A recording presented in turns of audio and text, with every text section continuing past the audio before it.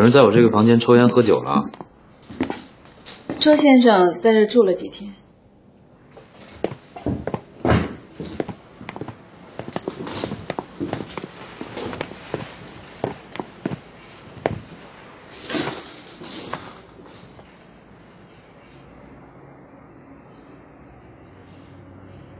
跟他相处比跟我相处容易的多吧？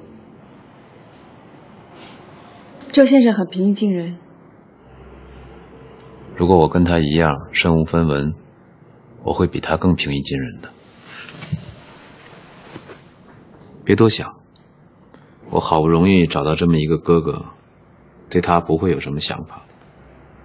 我只是不希望因为他在，公司缺乏权威和对权威的尊重。他确实很随和，但就几天时间，对公司不会造成任何影响的。如果不是几天，是几个月呢？什么意思呀？既然他是我的哥哥，我就可以放心的让他做我的替身了，甚至可以交给他一些权利。我不明白为什么这么做呀？我尝到甜头了。有人替我出席各种活动和应酬，我就可以把全部的时间和精力用于公司的经营了。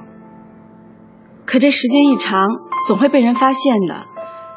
你们两个人总会要见面，这一见面，我不是政界人物，也不是演艺明星，除了我们这个圈子，没有多少人认识我。就算被人发现了，也可以说只此一次，下不为例嘛。那你们两个人谁在公司上班呢？当然是他。除了出差，我会在会馆和家里。那我呢？我是谁的助理啊？这就要辛苦你了。你要同时协助我们兄弟两个人。放心吧，我会相应的增加你的工资。啊，这跟工资无关。我会。尽最大可能尊重你的哥哥，可是可是他毕竟不是我，所以你的尊重很难做到发自内心。我承认这的确很难。我是董事长助理，不是职业演员。如果算是我个人的请求，你愿意帮忙吗？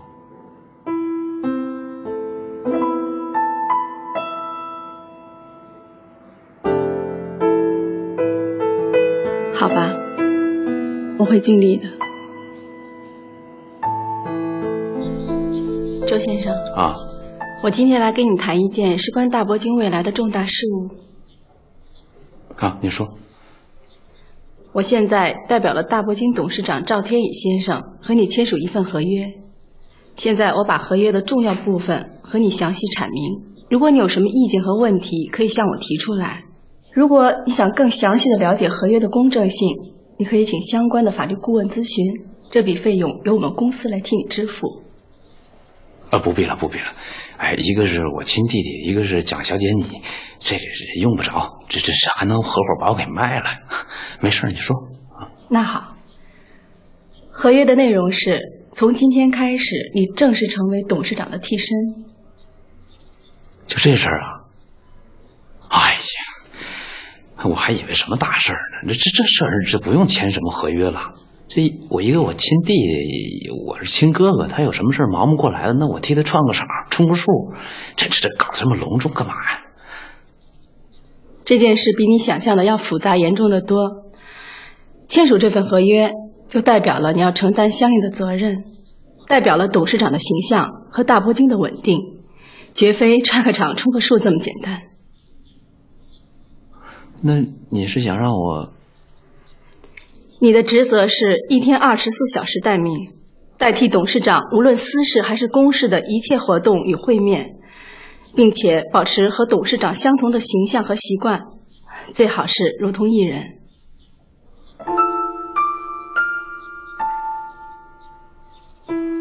一天二十四小时，保持如同一人。全职啊？不对呀，比全职还厉害啊！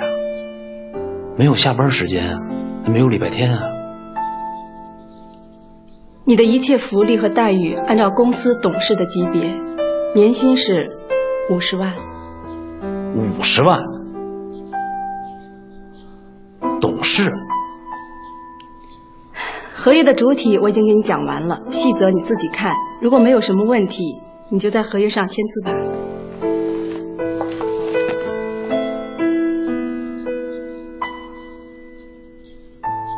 你有什么问题吗？我只是觉得，觉得年薪少了啊！不不不不，不是不是不是不是少了，是多了。五十万年薪，我哪值五十万？我周英文不值五十万年薪。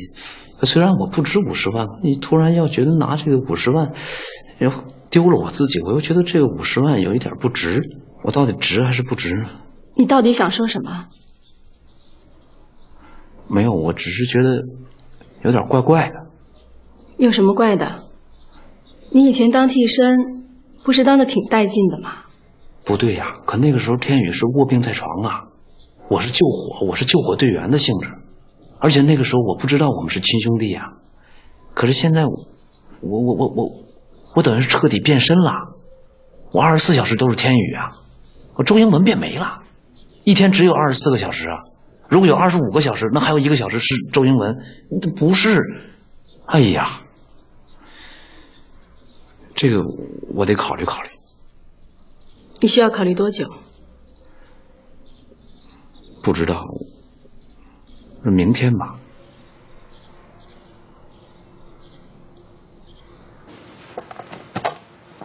对不起，我没能完成任务。为什么？他说要考虑一下。是价格问题吗？他说。他不想放弃自我，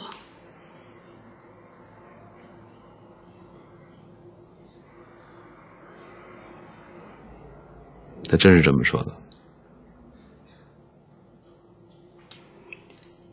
我能理解他的想法。替我订张台子，晚上我要跟他一起吃饭。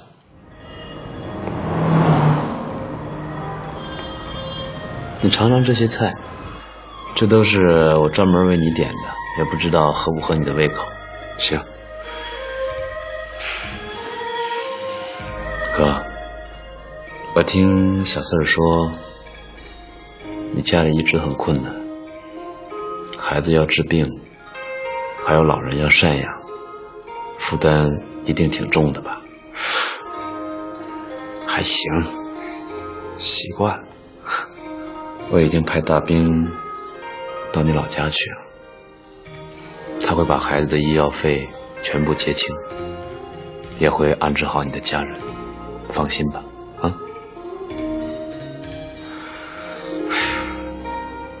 天宇啊，你想的还真够周到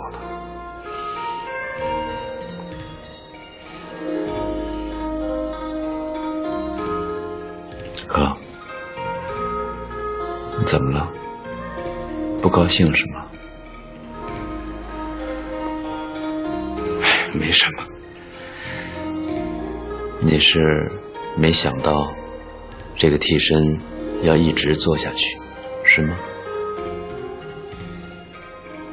天宇啊，其实我是想做一些事情的，我也有一些能力的，我能理解。每个人都不希望成为别人的影子，可是现在这个情况你也知道，我身体不好，需要有人替我去撑台面，只有你，只有你能替我这么做，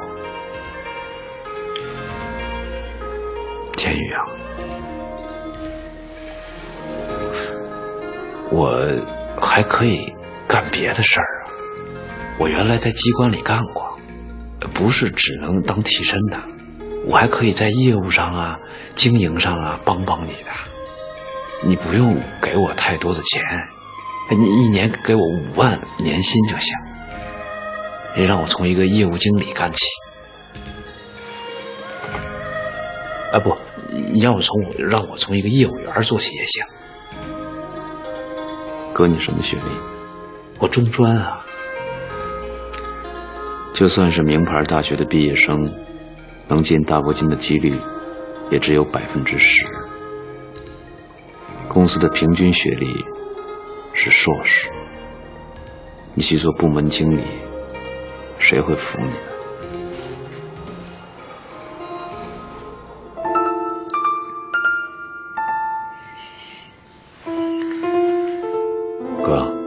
我知道，我也能理解。你想拥有自己的事业，其实做我的替身，它的重要性要远远超过一些什么部门经理啊、总监啊这样的工作。形式上是个替身，但是从公司的战略上，它的重要性无人可比。你是想做一份独一无二的、不可替代的工作呢，还是想做一份？满大街的人都可以胜任的工作，哥，将来大铂金发展了、壮大了，你知道吗？你的功劳是不可限量的，不可限量的。哥，你放心，我不会不考虑你的问题。现在我有难处，等我度过了这段最困难的时期。我会想办法让你去国外读书，我会送你去读最好的 MBA。等那个时候你学成归来，名正言顺了，再去开创自己的事业。我这个做弟弟的不帮你，谁帮你啊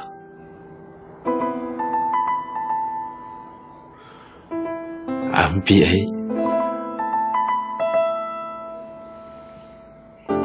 哥。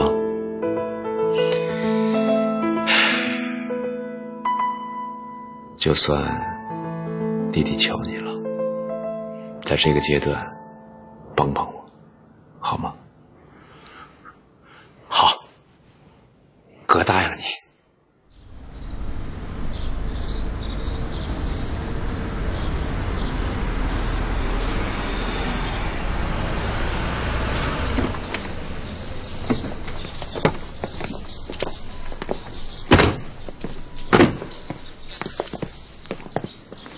这是董事长的房子，刚刚为你布置好。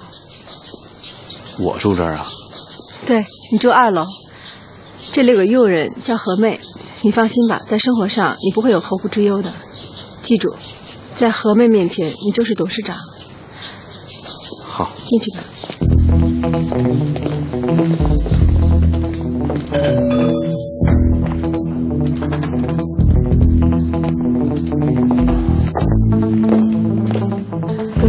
是何妹，董事长好。何妹你好，以后就多辛苦你了啊！不敢当，不敢当。董事长请。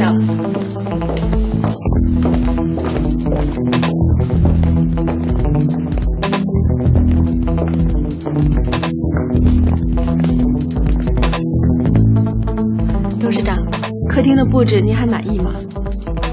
啊，嗯。上楼看看您的卧室吧。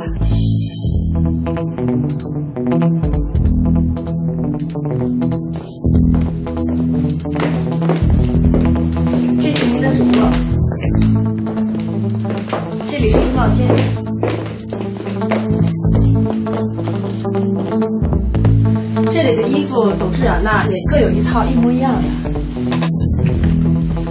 这是西装，每天早上我会通知你穿哪一套。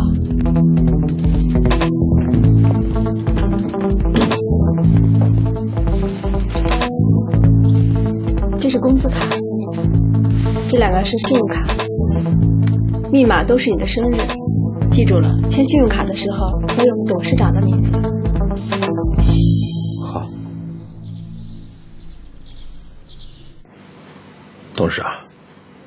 财务部门的工作很不好做。嗯，如果好做，我就不会高薪请你了。现在应该随机应变，把能拖的账一律拖延。等我们物流中心的合约正式签订以后，我们的资金链就接上了。是，我记住了。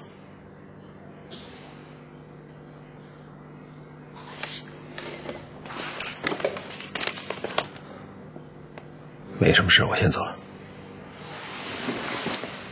方总，我听说我住院这段日子，你表现的很能干，辛苦了。我不敢当。不过你也应该清楚，有些事情欲速则不达，步子迈得稳一点，比较不容易跌倒，对吗？董事长说的对，我走了。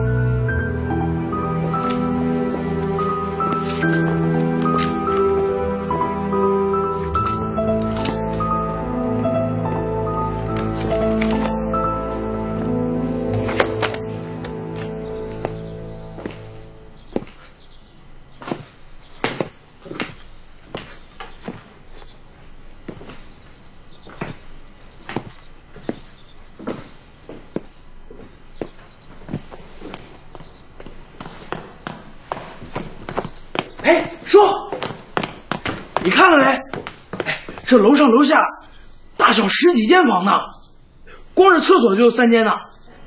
哎呀，爽死了！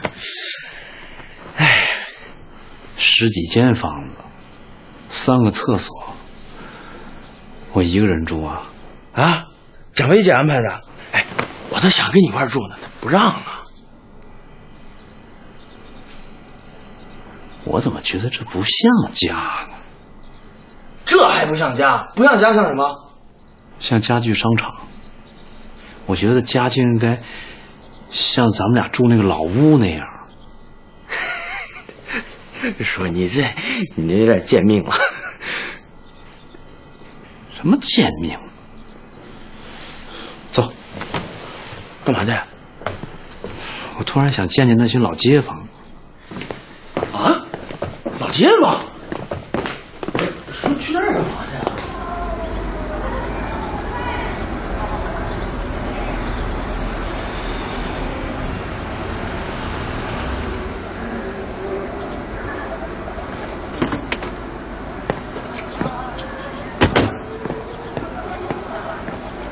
刘大叔，怎么样？哎，四儿，这这是你开来的？那是。嘿呦，这偷车可是犯法的呀！哟，看你说的，这怎么能是偷的呢？这是公司配给我叔的。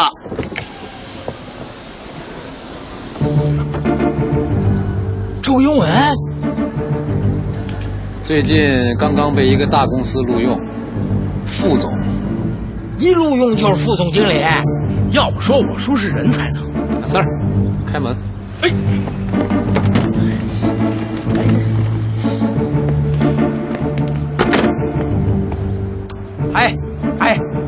我说什么来着？哎，我说什么来着？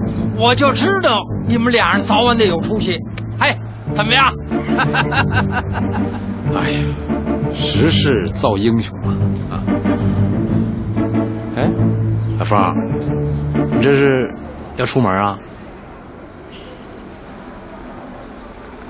什么？你要让小芳走？嗨，我也不想让她走。这不瞒你们说，我这小吃店本来就是小本的买卖，眼下生意是越来越差，一直在亏本，客人也少，可活儿还少呢。我们老俩一商量啊，得了，自个儿将就着干吧，别耽误人家孩子挣钱。我呢，就跟小芳商量，再找个主。哎，谁想这孩子还真仗义，说不要工资也在这儿。嘿，虽然他那么说，我哪能那么办呢？我呢，好不容易才把他说通了，这不是刚要走，嘿，就碰上你们了吗？哎，好了好了，我听懂了，你不就是想呃把这个小芳给辞了吗？就节省开支嘛。哎我也不愿意，那赚的多多雇人，我们还落个清闲呢。你赚的少，可不就得少雇人。眼下赔本赚吆喝，那值得叫我们老两口办吧。请人，嘿，请得起吗？好了，我给你出两条锦囊妙计。小芳不但不用走，你还可以赚的更多。我开店都开了十年了，那赚的钱也就将将糊口。你，你能有什么锦囊妙计？哎，别这么说啊！我跟你说，我原来在机关里干过，见多识广啊。李嘉诚传我倒背如流，卡耐基成功之道我也是滚瓜烂熟。是我原来是潦倒过，那是没碰着机会，碰着机会了，机遇来了。别说你这个小吃店，就大公司那种大单位，我都可以让他扭亏为盈，东山再起。啊，行行行行，打住打住，我不要求东山再起，那只要下月不赔，哎，就行。好，你跟我说，你这个月赔了多少？嗯，这月的流水是四千五，刨出原料费、工钱、纳税、清洁费，嗨，乱七八糟的吧，还倒赔进六百块，那正好是小方的工资啊。好，锦囊妙计之一，明天早点油条免费吃，啊，免费？免费吃。嘿嘿，你是嫌我赔的不够是怎么着？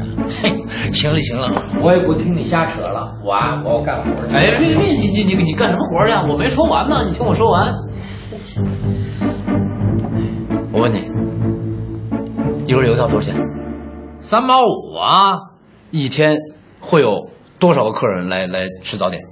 嗨，零零星星也就十几个人他们只吃油条吗？那倒不是，你喝豆浆的，吃茶鸡蛋、烧饼、咸菜什么的。那一个人平均你能赚多少钱？一个人一顿早点大概也就四五块钱吧，咱们赚一块钱。好，如果这个油条免费吃，能多带来五十个客人，你算算，除去免费的这个油条钱，多少钱？你算算，一块钱刨出三毛五，还有六毛五，六毛五乘以五十，三十二块五啊。一个月呢？一个月多赚多少？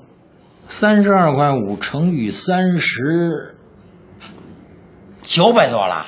九百吧，九百，这正好是小芳的工资啊。哎呀，不行不行，那万一要来不了五十人怎么办？我那油条岂不白搭了？哎呀，你这个呀，放心，这是书上讲的那个营销策略里面最常用的一种经典战术，保管好用。这这码事儿听着有点意思啊！哎，再再再再来一条，再来一条。来一条啊！我加道菜。小芳，林叔加油！好嘞，第二个，精品化。精品化，我问你啊，就这附近啊，就你这样档次的小吃店有多少个？那方圆三里地也就七八家儿，呃，还有几家洋快餐。对呀、那你就要做出特色，没有特色你就没有竞争优势。精品化，打比方，煎饼果子，别人煎饼果子用面皮儿，你就用豆皮儿，最好的豆皮儿。别人一个鸡蛋，你仨，精品就要做成一等一的、特级特的啊，打遍天下无敌手的超豪华的这个唯我独尊、江湖第一的这种煎饼果子。就到那种写字楼，写字楼里面去，就那帮伪白领，没有时间吃早饭，肯定是你有多少卖多少。别人卖一块二，你卖五块，哎呦，怎么的？一个多赚两块钱，一天五十套，多赚多少钱？你算算。别算了，一百，一个月多多赚多少钱？三千，一个月三千啊！你还要你不但小小芳不用走，你还得多雇几个人，你忙不过来。到时候你就甩手大掌柜的，对不对？享清闲了。对呀，真的。是不是啊？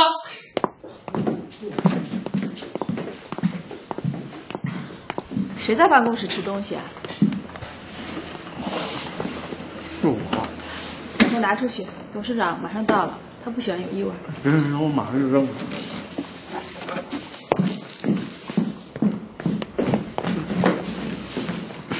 董事长，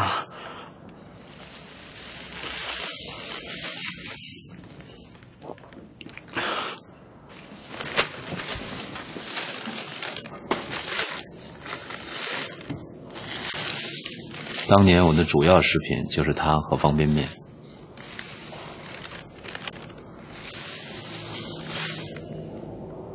就是当年的味道，不过这个好像比当年我吃的那种大。这叫金牌超豪华煎饼果子，普通的一块一套，这样五块一套，买的人还特别多。金牌超豪华煎饼果子，概念不错，很有想象力。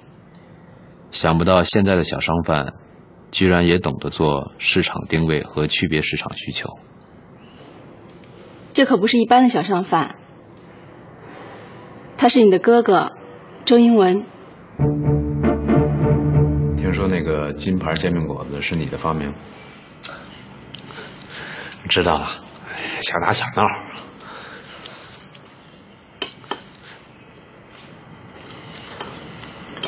我觉得你在做生意这方面还是很有潜质的。我想慢慢的。让你接触一些小案子，让方立新和蒋维帮帮你。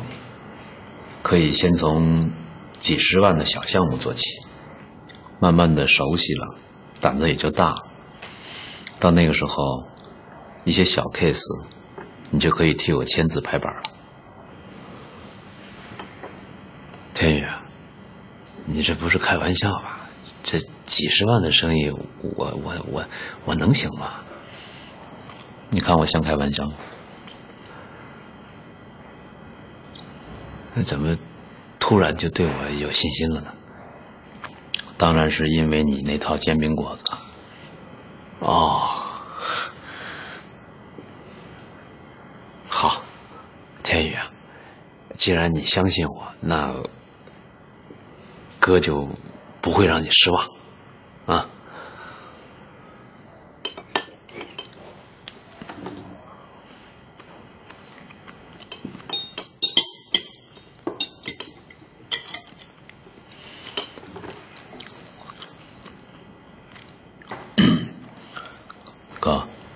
你觉得兰兰怎么样？哪个兰兰？那个陆兰兰，跟你一起吃饭的。你觉得她漂亮吗？漂亮啊。喜欢吗？啊，漂亮，谁不喜欢？怎么突然想起问这个了？据我所知，她现在还没有男朋友。你正好也是单身。哎，这个不可能，那人家比我小十几岁呢。现在像这样的小姑娘，就是喜欢成熟的男人。嗯，那要是喜欢，也是喜欢你这样的。咱们俩的样子不是一样吗？别逗我，他呀，其实我早看出来，他是对你有意思。我呢，只不过是沾光。他不是对我有意思，他是对我有可能提供的帮助有意思。商业社会。感情也需要等价交换的，可你听我说，刚开始，你还是要以我的名义去跟他接触，等时间长了，他自然就会喜欢上你了。到那个时候，我自然也会在公司给你安排一个比较重要的位置。就算他知道了真相，他还是会愿意跟着你的。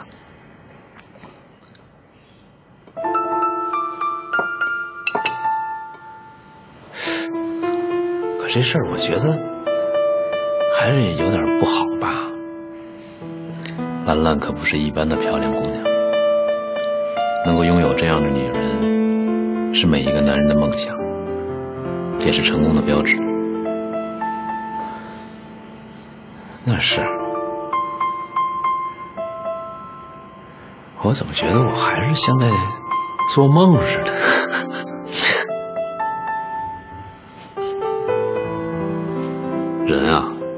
就是要有梦想，实现梦想就是成功。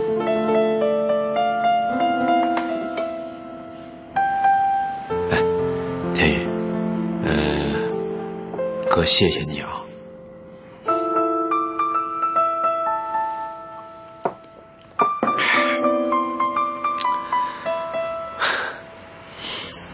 以上是公司的架构、经营理念、公司历史。下面我们来谈一谈公司的战略目标。大铂金正面临又一次高速发展的大好时机。我们的战略目标是以沃尔玛为榜样，挺进世界五百强。具体的手段呢，是通过资本市场对国内的物流行业进行一次全面的整合。整合的意思你明白吗？就是调整和合并。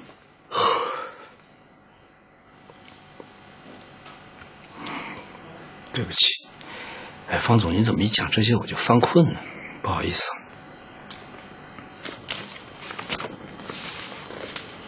周先生，你到公司已经有一段时间了，你应该尽快的把公司的业务熟悉起来。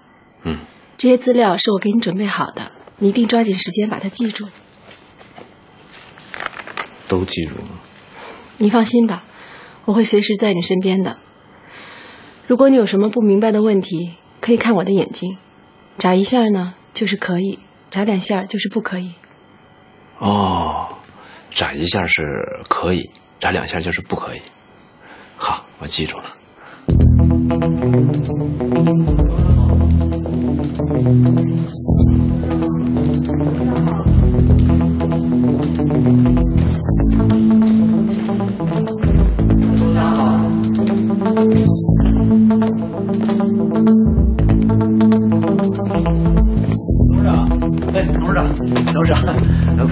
刚才忘了跟您说一件事儿了。呃，《成功者》杂志想约您拍照片儿，您看，我这可以。那您看什么时间合适啊？可以啊。啊，我来安排吧。啊。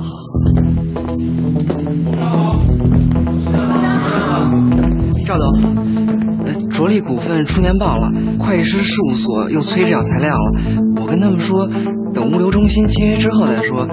您看这样可以吗？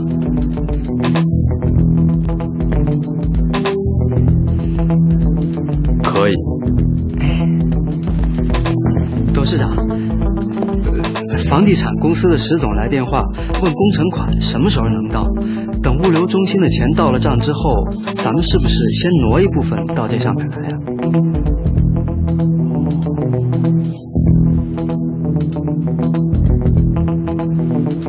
绝对不可以。可是他那边真的很急啊，一天十几个电话。赵总，这事儿能不能开个董事会议研究一下，重新安排一个切实可行的计划？可以。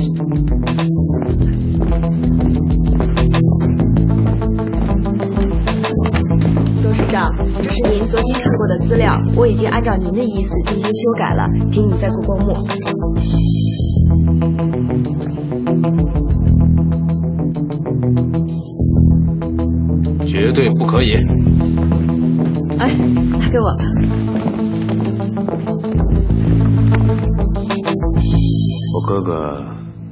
现的怎么样？七分相似，在外人眼里几乎看不出真假。嗯，很好。这样我就可以放心的把总部交给他了。接下来的这段日子，我要去休假。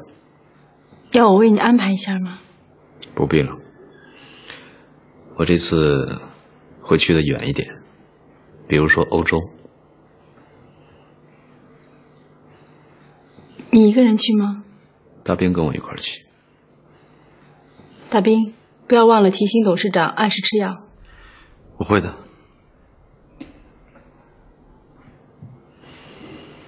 好了，我有点累了。李欣，你留下，我还有些话要跟你说。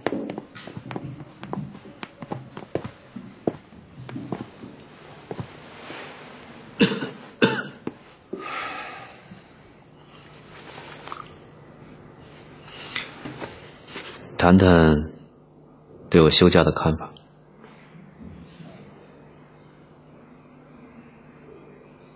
休假只是借口。接着说，大铂金的资金链条环环相扣，牵一发动全身，资金储备不足，一直是我们的软肋。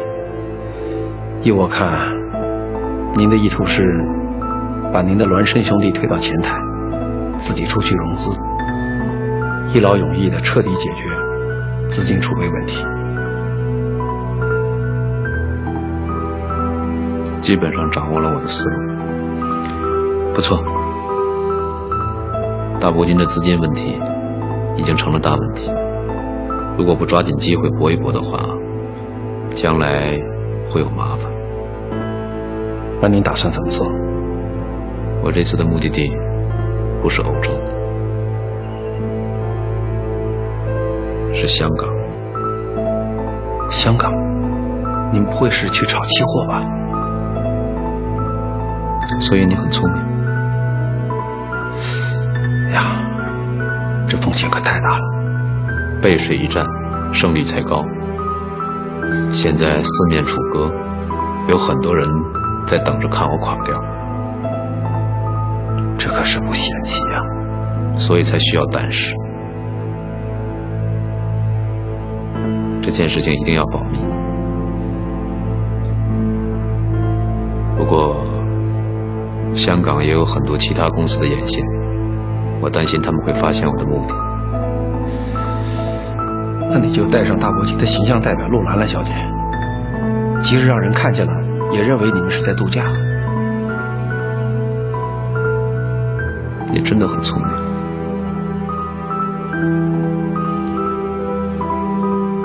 好，明天你替我转一笔钱过来，要多少？三个亿。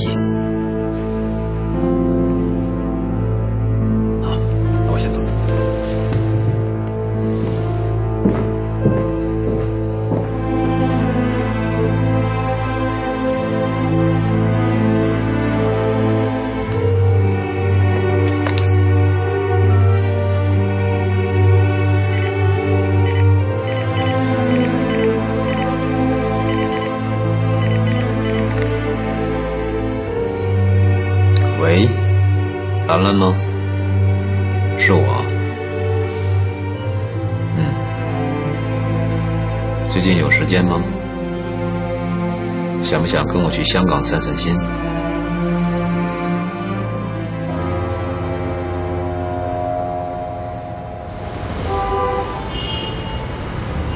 觉得我最近表现怎么样？八十分吧。八十分。嗯。蒋威啊，只给我六十分，对他来说算是高的了。在他眼里，根本无人能和董事长相提并论。我觉得天宇好像也有点喜欢他，特别喜欢，但蒋威一直拒绝。哎，应该的。这天宇是有家的人啊，有老婆。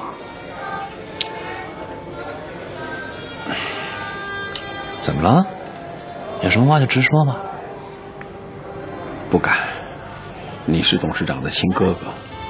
哎呦，你放心吧，我不会出卖朋友的，除非你想害他。你拿我当朋友？我早就把你当朋友了。那我可是高攀了。你要总这么说话，那我可真生气了。好，那我就有话直说。你永远不要小看蒋薇，他极聪明，他知道董事长非常喜欢他。本来他可以利用这份感情，得到更多的东西，但他没这么做。他很清楚，要保持一个男人的好感，最有效的方法就是别让对方得到自己。他这么做的挺对的。